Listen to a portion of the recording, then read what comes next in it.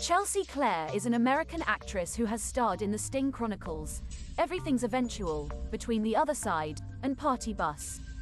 In her childhood, she listened to Motown music with her dad and watched old movies with her mom, which inspired her to become an actress. Chelsea Claire believed that artists are immortal, their work is forever, and their memories last a lifetime. Chelsea knew she had to become an artist to become immortal.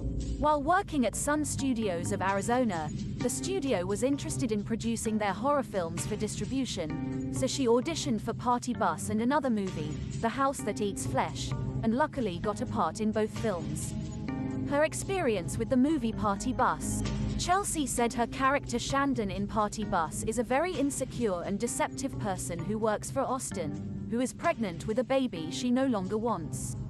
She is stuck in a situation where she has no choice but to give birth to her child. This character slightly differs from the other characters that she has played.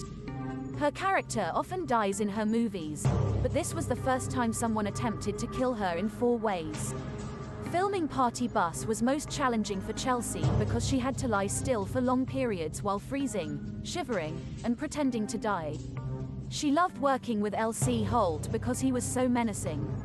She enjoyed working on Party Bus since the set was like a family, and the cast and crew quickly became very close.